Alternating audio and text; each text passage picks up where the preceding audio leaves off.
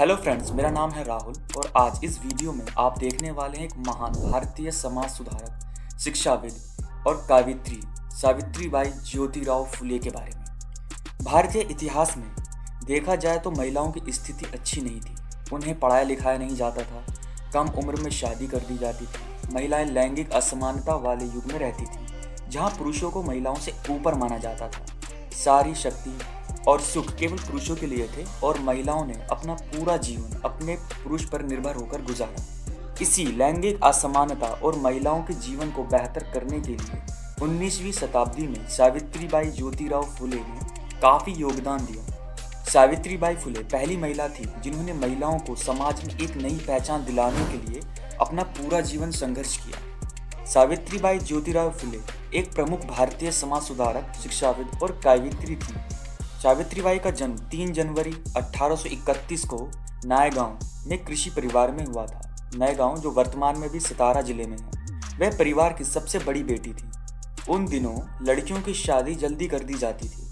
इसलिए 9 वर्षीय सावित्री बाई की शादी 1840 में 12 वर्षीय ज्योतिराव फुले से हुई।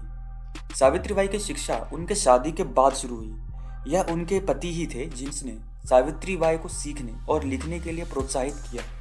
उन्होंने एक सामान्य स्कूल से तीसरी और चौथी की परीक्षा पास की, जिसके बाद उन्होंने अहमदनगर में मिस फरार इंस्टीट्यूट से परीक्षण लिया।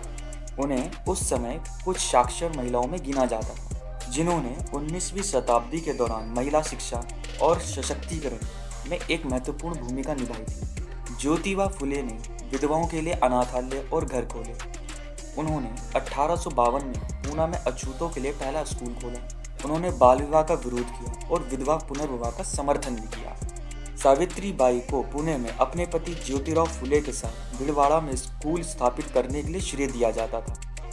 महाराष्ट्र के सामाजिक सुधार आंदोलन का मुख्य व्यक्तित्व और उन्हें बी आर अंबेडकर के साथ दलित मंगल जाति का प्रतीक भी आज माना जाता है। उन्होंने अनटिचेबिलिटी के खिलाफ अभियान चलाया और जाति व लिंग आधारित भेदभाव को समाप्त करने के लिए सक्रिय रूप से काम किया। आखिर में मैं इतना ही कहना चाहूँगा कि काफ़ी सारे समाज सुधारकों को इतिहास के पन्नों में दबा दिया गया या फिर छिपा दिया गया, जिसके बारे में बहुत कम लोग जानते हैं। उन छुपे हुए लोगों में से एक थी सावित्री बाई फुले। तो फ्रेंड्स, आप कमेंट में ज़रूर बताइएगा कि आपको ये वीडियो कैसी लगी। अगर अच्छी लगी हो तो प्लीज़ को लाइक कीजिएगा और ऐसी ही अनोखी वीडियो देखने के लिए मेरे चैनल को सब्सक्राइब कीजिएगा। मिलते हैं अगली वीडियो में। धन्यवाद जी।